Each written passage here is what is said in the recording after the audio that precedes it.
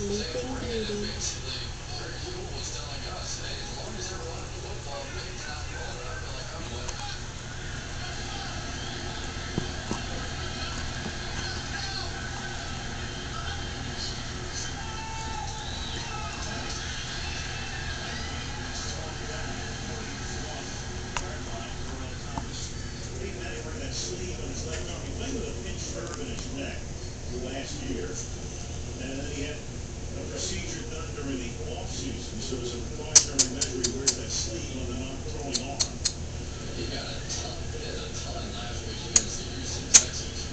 He got to him about 10, 12 times, and this is a guy that threw a sack 10 times all last season. And as you can see, the guy threw 15 times they hit him and knocked him down with a hand of those times. You like that? Yes, you do. He likes it.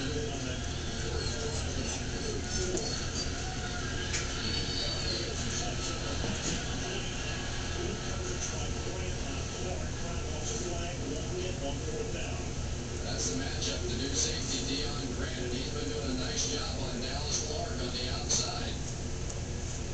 They knew right exactly where he wanted to go, but Grant had that one completely blanketed that time.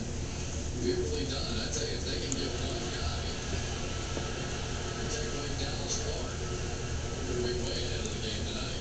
Right, So the replacement wanted to play. Singletary.